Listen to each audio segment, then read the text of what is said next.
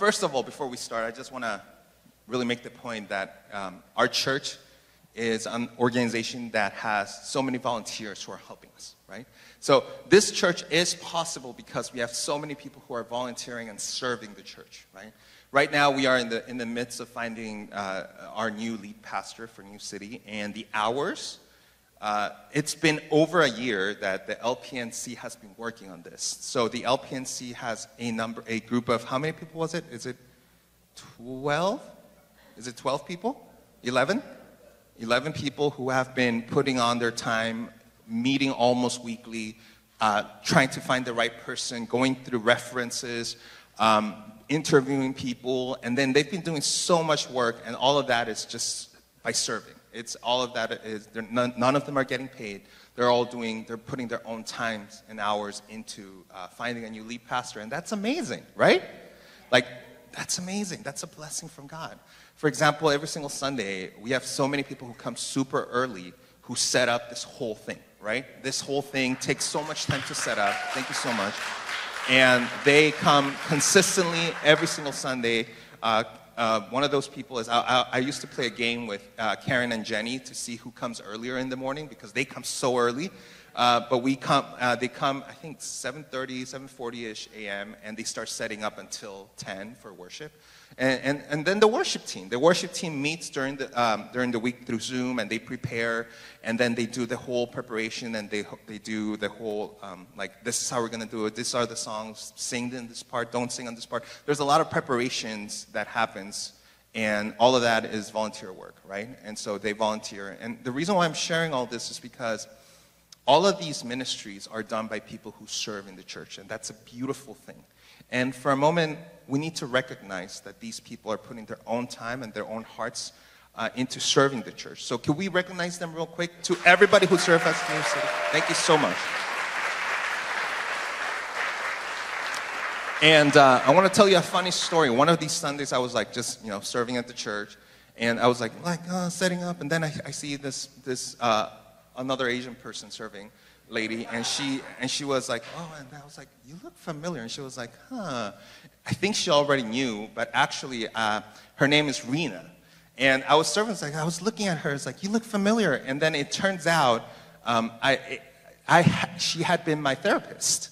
Uh, uh, and uh, Rena actually was my um, marriage therapist with my wife and I, my couples therapist at Fuller because we were there with my wife, and then, you know, I, had met her years ago, and um, she was the one who was helping us to uh, become a better uh, couple and work on the things that we had to work on. And I was like, "You're Rena?" It was like, "Oh, Rena, hi!" And it was like, it was so crazy when I met her. I was like, "Oh, you're serving here?" Like what? I was like, "Yeah." And I think she already knew, and she was actually waiting until I, I would actually recognize her. I don't know. I don't think. I don't. I, I don't know if she was even expecting it, but then it finally clicked. I said, "Oh." That's you. And then my wife saw her. I was like, oh my God. And my wife knew right away. So it was something wrong with me. Um, but the reason why I'm sharing all this is because uh, today I'm going to work together with Rena to share a message about serving, right? And so let's b- give a big hand to Rena as she comes forward.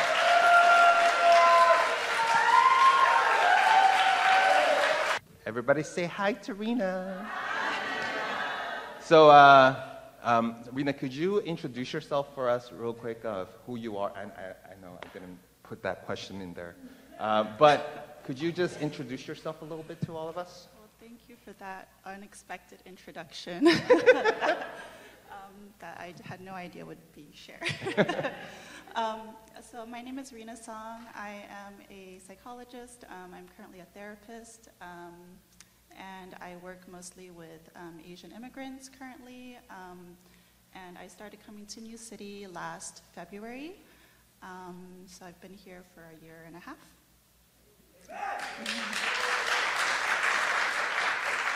So, Rena, the reason why I asked you to come here and, and, and share with us today is because um, I've seen how you serve, um, but you also serve in a very um, healthy manner, right? Because I, I, I've also seen you when you come, and then some Sundays you're really on, and but some Sundays you're, you're like, like you make your space and you don't, like there's Sundays that you serve and you don't serve, and I was like, oh, that's really healthy, and you're very consistently always present and coming. Um, and so I wanted to ask you, why do you serve? That's a really good question. Um, I was really surprised when you asked me because I don't think I put in terribly amount, a, a lot of time to the church. Um, I know so many people who have invested so much of their weeks, their hours um, into serving the church. So um, I'm honored that you asked me, and I'm also surprised. So thank you. Um, so why do I serve? Um, so when I was thinking about this question, we processed what serving means. And um, we kind of discussed how serving means loving. And we came to discussing how um, those two are related because of the way Jesus loved and served. Um, and so, for me as a Christian, um, I consider myself a disciple of Christ. Um, I, I, I, think about, um, so in Chinese, the word Christian is literally Christ's disciple. So um, for me, that's, uh, I guess, a part of my identity. And um, so if I think about being a Christ disciple, then I would listen to what Jesus teaches. And Jesus asks us, um, especially during the Last Supper, um, to love one another, um, especially because he has loved one another, um, all of us. and so I think um, given that, um, when I try to serve and to love, um, I am loving the person that Jesus loves um, and also doing what he asks. So even when it could be hard. Mm. Yeah. What's the word, the actual Chinese word of, I don't know, that's throwing in, you off. In Chinese, yes, yes. I, I just want to it's know. literally Ji Du Tu, which is disciple of Christ. Shi, shi Tu Tu. Yeah. okay, sorry, I'm trying my best here. Thank you for sharing. Um, also, like, you know, I think serving has a lot to do with uh, loving. Because for me, at least, as I was trying to uh, come up with this sermon, I was thinking about serving and loving being very close to each other. So, uh, as a mental health professional, um, I wanted to ask you also, like, what does it look like to love in a healthy life? And so, with that question, um, also something that we discussed. Um, and so when I was thinking about that, um, the word health feels very personal. So um, each of us is knowledgeable about our own health, um, and we can only speak to that. And I think sometimes we may not even know if we are healthy or not. Um, it's not something that might, we might be aware of. Um, so, yeah, it's a very personal question question. Um, I think I would have to ask myself, like, do I feel well? Um, and if I'm not sure about that question, I might ask God, God, do you think I feel I'm what I am well? Or um, I might ask God, like, um, you know, God, what do you think I need? Um, or I might ask myself that question, what do I need um, if I am not feeling well or healthy?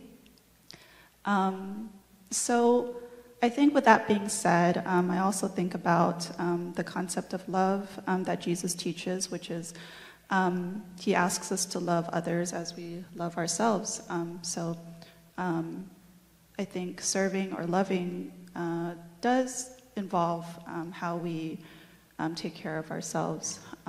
so asking myself, what do I need? we all have many, many layers of needs.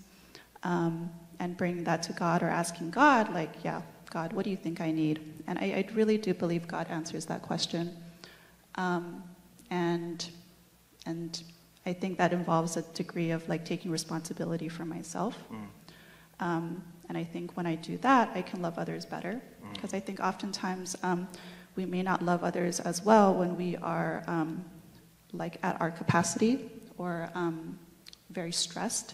And we um, you know, unintentionally, um, like, like put our stress on other people. Mm. Yeah. Mm.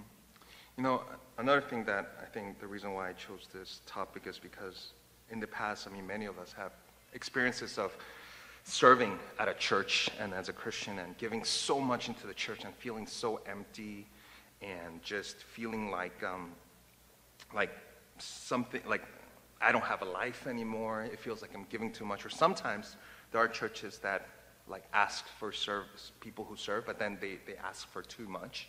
And there's like, oh, can you do this and that and that and that and that? So with that said, like we're hearing how serving is just part of what we do as people who have received love, but how do we do it as Christians in a healthy way? How can we serve others and serve the church in a healthy way as Christians? As Christians. Um, when I think of um, how to do things as Christians, I, um, I think I bring these questions to God, like to, to Jesus, like, what, what do you want me to do? How do you want my life to look like? Um, what do you envision for me? How do you want me to serve? All of these questions. I think God does answer those questions Mm. when we ask Him. Um, God. And, um, and as to the question of um, how do you know when um, you're giving like, like just a lot, like everything that you've got, um, I, I, again, I think that's a, a personal question, and it takes um, a lot of practice to be attuned to what's going on um, with ourselves, and um, and uh, and people ask, um, and sometimes again, it's um, there's no ill will, there's no ill intention to asking, um, but oh, I think we need to know ourselves to an extent, or what God wants for us, and be able to decide whether we will. Um, uh, like say yes or say no um, because I, I can't. Um, I'm not able to um, provide that assistance or I can't, I can't serve in that capacity right now. Um, I, I think, um, and I, I, truly do think that people can accept both answers um, when it's just given from a place of like, I, I like I can't, and um, yeah, it's it's it's about like um, kind of like I guess the popular language these days is boundaries. Mhm. Yeah. Uh, yeah, and definitely. Thank you so much. I, I really appreciate it because you bring a perspective that me, like as a pastor, can't bring, and I'm, I'm really grateful. Um, and, and thank you so much for always, like I think your profession is actually really beautiful because you deal with a lot of people's like, like brokenness and hardships and, and you're there to listen and listen. I've noticed that a lot of counselors don't really give me advice. They just listen. And then through it i'm able to like realize oh this is what i should do right? But it's it's not like telling me what to do right? It's sort of like listening and allowing that person to find their own um, answers on it. And i think it's such a difficult thing because as a pastor of course i preach right? I, I speak. But then as, a, as somebody who listens and, and, and counsels i think it's just so beautiful that you're doing a job that it just it's so important for so many people so Thank with you. that said, thank you Can so I much. add one more thing about like I didn't really think about this when I introduced myself, but I came to New City because a, a, a pastor friend and like told me about New City, and when I came, I just uh, I really loved the church, and I think part of it was just seeing how people serve, and I felt like everyone can participate. And um, everyone works together um, as to the best of our abilities. And um, it didn't feel like this perfect production. Um, it felt very organic, and it felt like a community, and it felt like um, like whoever can give, you can participate. And I, I truly think participating is really valuable. Um, I think we all want to participate, but maybe there are barriers to participating. So yeah, I think that's one thing that I really loved about New City, like the whole setup. I was like, oh, the, the, the cross looks very rugged. That's great. um, every Sunday, the band is in a different spot based on where the um, outlets are. It's just, um, yeah, I, I thought all of that was really beautiful. That was actually a good thing, guys. So, But, once again, thank you so much, Rena. Let's give a big hand to Rena.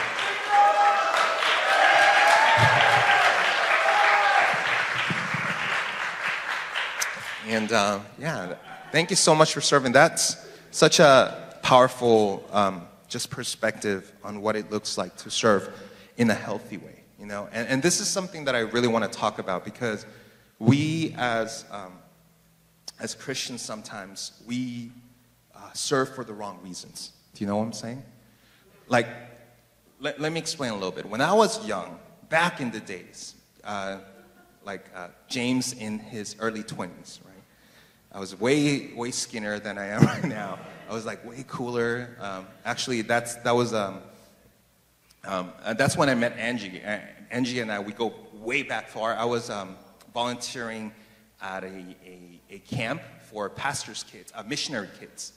Uh, and in Korea, there's a lot of missionaries. Korea is the number two country that sends missionaries all around the world. And so there's a lot of missionaries. So there is a ministry for missionary kids.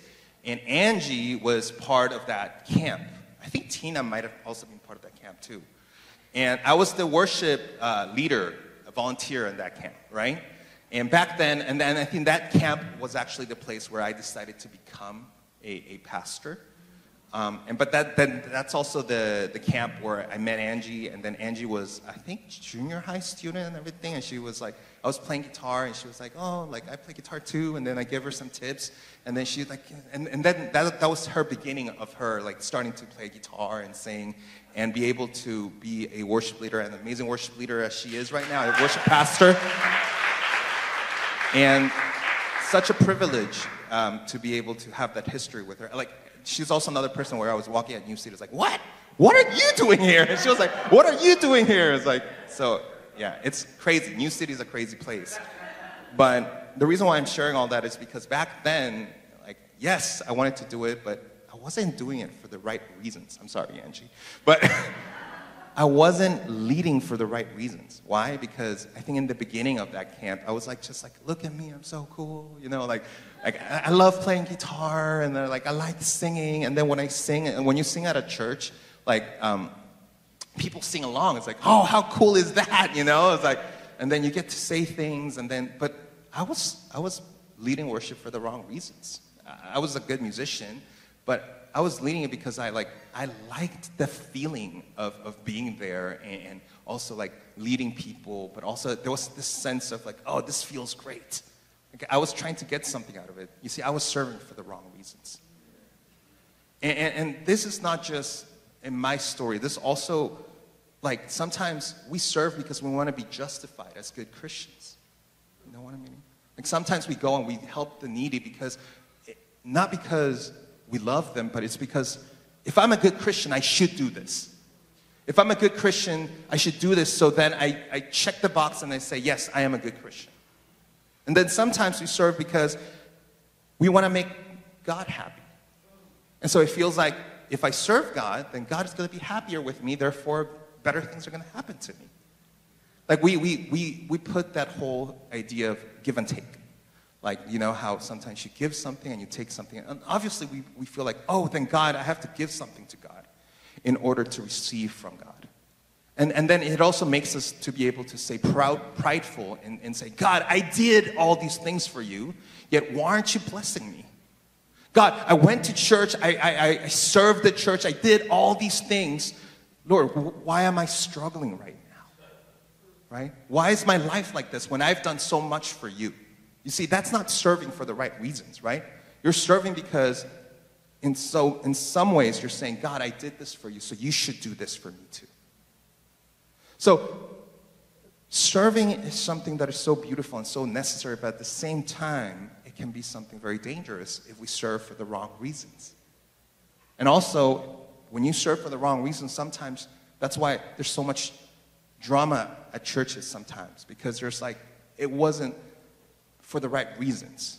And there's a lot of like, you did not recognize me, or you did not see me when I did this for you, and then you did not like. So it becomes this place where serving becomes sort of like this proof of me being a good Christian, right? But that's not the example that Jesus gave us of what it looks like serving, right? The example that Jesus gives is very, very clear. Jesus gave the biggest sacrifice to serve us all. Yet the reason behind it, it was to bring us eternal love and freedom from death. It was freely given to us, and we have the choice to receive it or not. What do I mean by this? You see, Jesus, when he came to this world and he loved us so very much, he didn't love us with a condition. He loved us unconditionally, saying, I love you, and I'm doing this, and I'm sacrificing my own self so that you can be with me forever in heaven. This is a requirement. This is possible. I'm doing this because I love you so very much. And He gave all of that love for us, but then at the end, it's an open ended love. Meaning that usually, when you love You expect something back? Because I've loved you, now you should believe in me and you should be saved. No, but God said, I love you and I've given this beautiful love to all of us. And the gospel was shared to all of us, but the free will was also given to us. Because that's the way you love someone. You don't force them to love you back. You say, I love you, I love you, I love you. And that's how Christ loved us and served us. His motivation of loving and serving was so that we could have freedom to choose God, right? And this is something really important for us to remember because that is from where we should be serving. We should be serving from a basis of love. See, my story is that I sometimes serve for the wrong reasons and love for the wrong reasons. Like uh, this week, um, I was sick from Monday to Wednesday. I had like a stomach ache and everything, and I was like very sick, and um, and um, I had diarrhea and stuff. And then the next day, Ben Ben starts having like at night he starts vomiting, like he starts vomiting out of nowhere, right? And then he is very sick, he has high fever, and then I had to like wake up at 2 a.m. and I was right next to him. And I was like trying to make him feel, feel better, you know, I was like, I was helping him vomit. I was like, I would hit him in the back, and then he was like, Dad, stop! I'm vomiting! I was like, but it was like, it's like, I was trying to help. And I was helping, and I was like taking care of him, and I like washed him, and then took him back, and then he woke up again, and he vomited three times. So all throughout the night, I wasn't able to sleep even a little bit. And when I go through those things, what happens inside of me is like, I've made this sacrifice for you. I've loved you and I've served you so much. Do you know how hard it is to wake up at night and care for somebody? Like from, from birth, I have changed your diapers. I have hugged you. I have loved you. I've carried you around. Like I've been with you all this time. And I get so mad when I tell him to do something and he says, no! Eat, eat your food. It's like, no, I don't want to it makes me so. And then and there's times like, Dad, I hate you. Have you ever heard, heard that from a kid? I hate you, Dad. How could you ever do that? Like he doesn't go as far as that, but he kind of like expresses this anger with, with, with, his body, his disappointment. No iPad. You know? And inside of me, y'all, I go like, oh my. God. Yo, I've done so much for you. Like I've like, and you dare to not listen to me? So what's happening is inside of me, there's this heart that says, if I've served you, you should know better and do that for me too. If I've done something for you, you should do that. You should give me the love back that I've given you. But that's so, so wrong. When you expect somebody to love you back because you have loved them, you're not loving like Christ. Love means even if you don't give me anything back, if I truly love you, that's how you love. You don't love expecting to receive. You don't love expecting to get something from them. You don't love to control them. Because I've loved you, you must do this for me now. That's not love. The love that God is talking about and the service that God is talking about is saying, I love you because I love you. There's freedom in your choice, whether to love me back or not. Because a forced love could never be real love, right? Why am I saying all this? It's because this is the wrong reason to serve, to love. And we should have a posture of serving and loving that is different. This very short verse in 1 John 4:19. This is the posture that we ought to have. All together?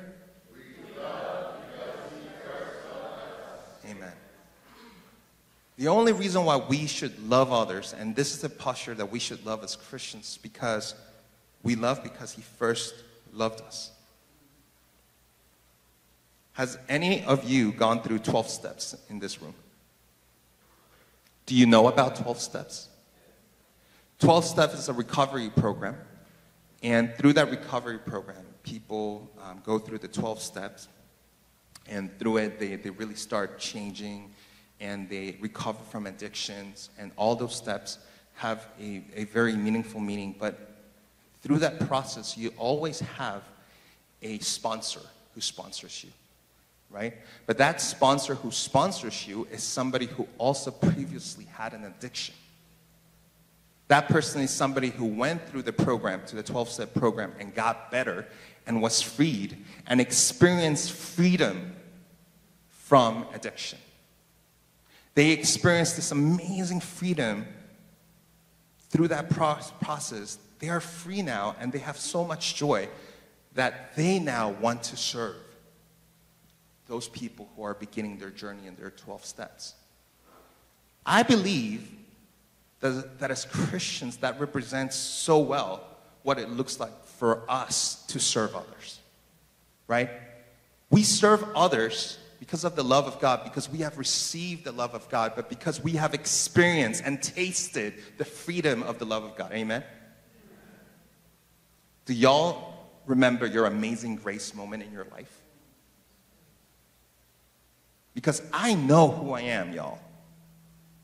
I am a sinner.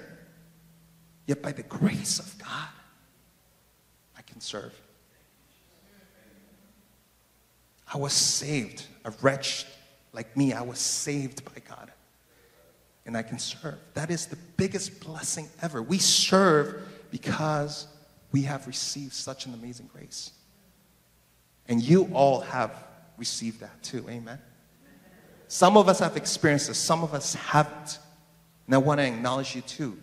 If you're here and you haven't experienced the grace and the love of God and the amazing grace moment in your life, I pray that we can do this together. And I pray that we can encourage you all to also experience that amazing grace because once you taste it, you never go back. Once you have In-N-Out, you never go back. Sorry, you Shake Shack lovers, but sorry, Fred. I'm an In-N-Out California guy, but once you taste that, you tell everybody how good In-N-Out is, right? The same way, once you have tasted the love of Christ and you have been served by God, you want to serve other people. Like those people in the 12 step who become sponsors. They sponsor because they have received the grace of other sponsors. And now they tasted the freedom and they want to give that freedom to other people. That is the posture that we should serve with. Amen? Amen? So, we talked about the posture of how we should serve, right? And that we shouldn't be serving for the wrong reasons. The reason should be I have received by, from God, therefore I want to give that love to other people so that other people can experience that too. So let's look at how Jesus served himself right? And we're going to go through some, a couple of passages here. But in Matthew 14, 13, uh, let's read it together. One, two, three. Heard.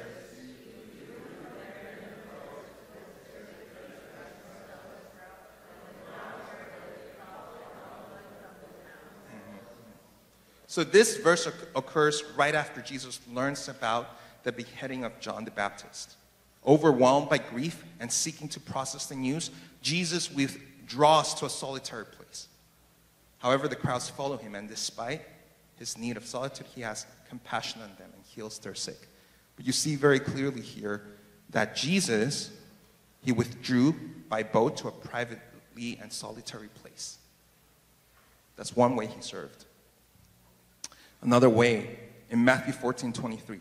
Let's read it together. One, two, three after he had dismissed them.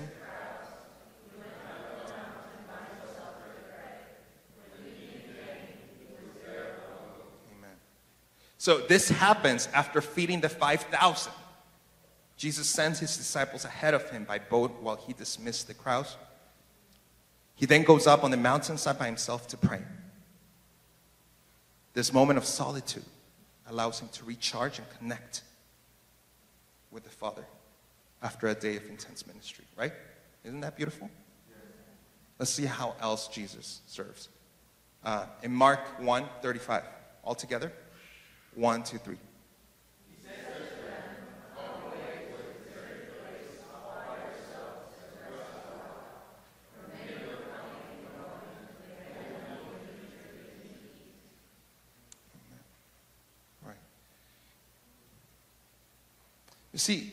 look at all these verses, well, actually, that wasn't the verse that I wanted to share, but are there, aren't there other verses? Mark uh, 1 35. Yes. Thank you. Yes, Mark 1 35. Oh, it's okay. But you can see here in Mark 135, Jesus, in the very early morning, it was dark, Jesus got up and left the house and went off to a solitary place where he prayed. Luke 5:16, but Jesus often withdrew to lonely places and prayed. Luke 6:12, one of those days Jesus went out to the mountainside to pray and spend the night praying to God. What do you see here that Jesus does? Solo time. He prays by himself. Every time he does ministry, after ministry, he takes time to rest, right? So it's not like you see very clear after feeding the 5,000 people, the first thing that he does is he rests. And this is just giving us an idea of what serving looked like. We, we in our head go, Jesus gave the ultimate sacrifice. So he gave so much of himself and he loved us so very much. He did, but he also rested. And why is this important? Because sometimes we get caught up in this idea that we have to do God's work because we have received the grace of God and we have to work, work, work, work, work, and give, give, give, give, give. When in reality, Jesus himself, who gave the most, talks about the importance of resting, the importance of serving, yet also the importance of resting. This is important, y'all. Because we as Christians should do the same thing. This is the example we have. We have to learn how to care for ourselves. Jesus prayed and he rested. Jesus prayed and he rested. When? In the mornings, in solitude, by himself, when there's no other distractions. This was a very important foundation for God's ministry. Amen? So we need to learn how to serve in a healthy way, like Christ did, right? And in Mark 6 31 and 32, the passage that we just read, then because so many people were coming and going and they did not even have a chance to eat, he said to them, Come with me by yourself to a quiet place and get some rest. So they went away by themselves in a boat to a solitary place. Come with me by yourself to a quiet place and get some rest. That's Christ's words, y'all. You see, we need to learn how to do this. We need to learn how to rest. We need to learn how to set boundaries for yourself to rest and worship. Right? So, serving is beautiful and serving is very important, and it's the, the work of God. But also, we need to be able to learn how to say no. Because the problem with this is, is sometimes we keep on serving and serving and serving, and we forget about the importance of caring for yourself and even worshiping. Have you ever been in a situation when you have been serving so much that sometimes you realize, I'm not even worshiping anymore? That happens so often at churches. And I want us to, I want to encourage you all that it's important for you to also say no so that you can rest and be fresh like Christ did. During ministry, always rested, we need to do the same. So we should be able to sometimes say no. And it should be okay. And it is okay. At New City, we're trying to make a culture. When you say no to me or to any pastors or any leaders, don't feel guilty. We want to see this as if Christ did that, we should do it too. But then to rest and to what? And to worship? So if you're saying no to something and then you're saying like no, and then I just want to be home and just that's cool too. That's self care. But at the same time, it's important for us to also make, make a space so that we can actually worship. So if serving is getting on the way of worshiping, there's something wrong with that too.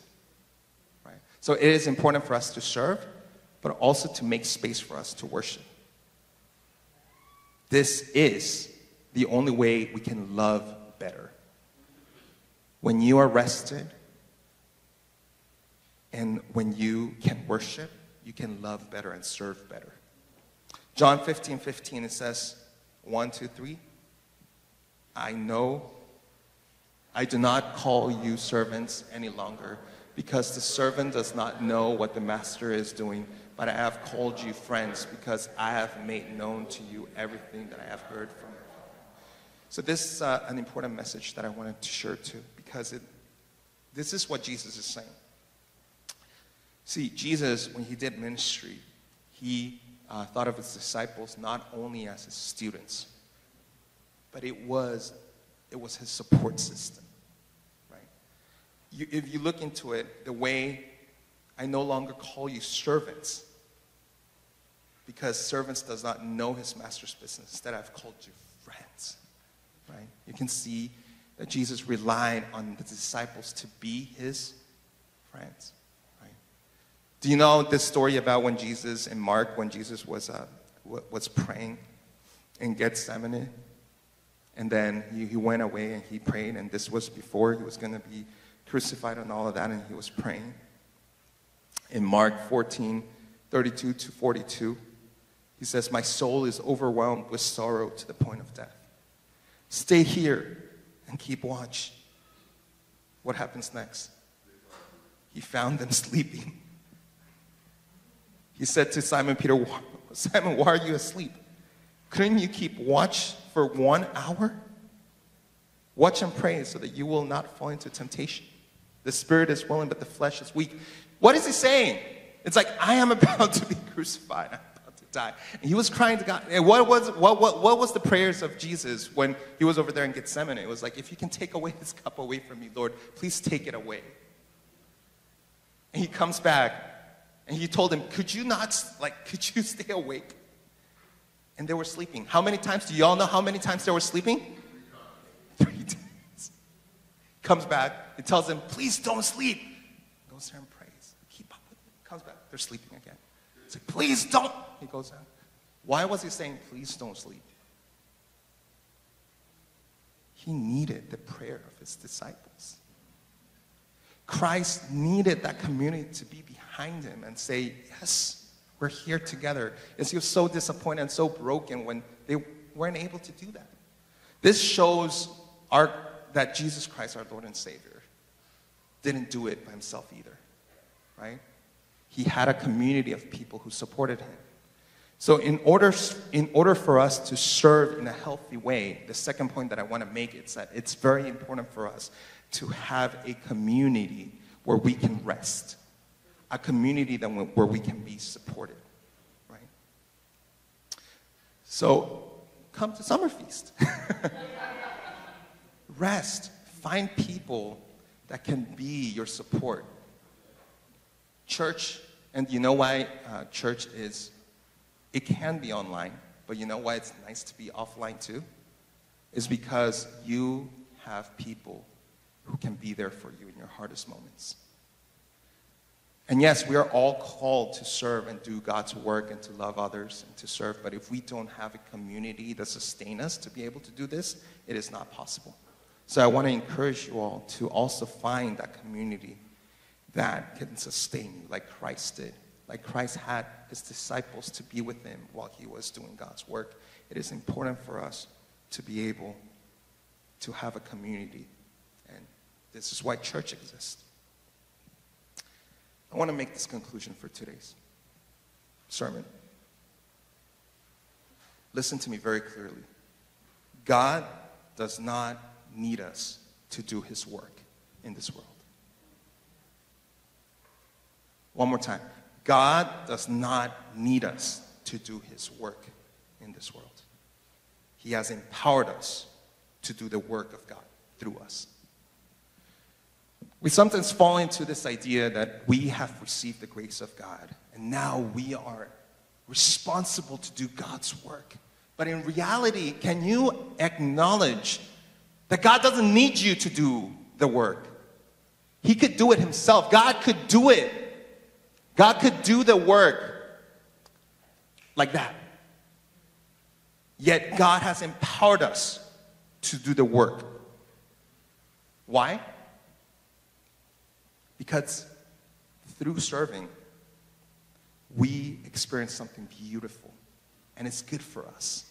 And we experience God's love when we share with others. But God does not need us to do the work.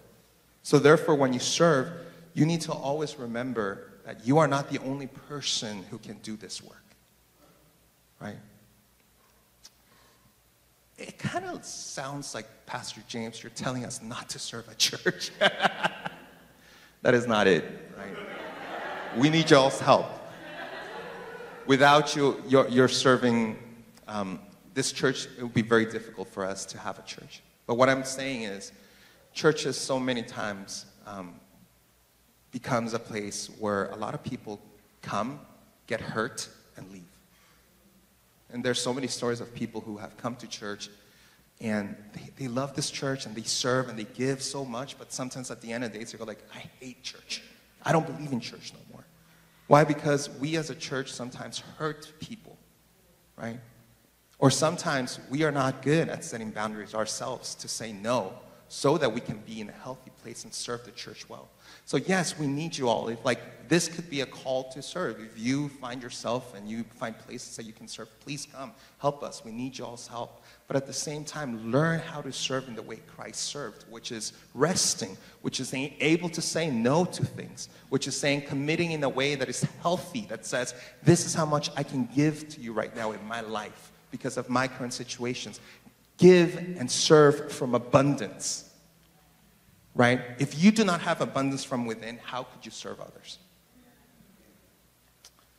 So, thank you so much for listening to this sermon. And if you would like to serve, please do so. But always remember the importance of resting in God, the importance of knowing that you are not the only one who can do this work, yet when you do it, do it with joy. It's a privilege to be able to do it, but also know that God wants you to serve from a healthy place.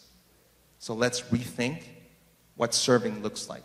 Let's have an idea of looking at serving out of the box. Thank you so much.